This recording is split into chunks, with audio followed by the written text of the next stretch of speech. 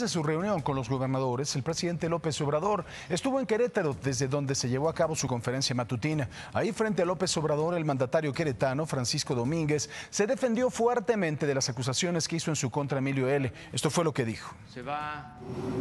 En mi vida siempre he dado la cara y hoy no será la excepción. El señor Emilio Lozoya ha, aprendido, ha pretendido involucrarme con una bajeza inaudita en actos de corrupción. Ha aportado solo sus dichos que valen lo que su prestigio. Nada. No tengo nada que temer.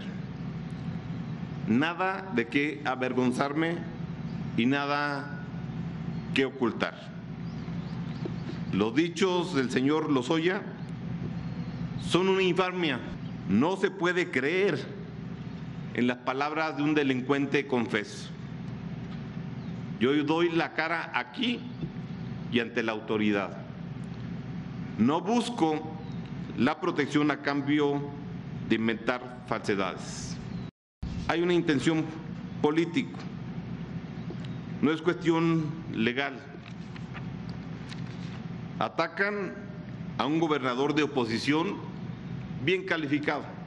Doy la cara y defenderé mi nombre.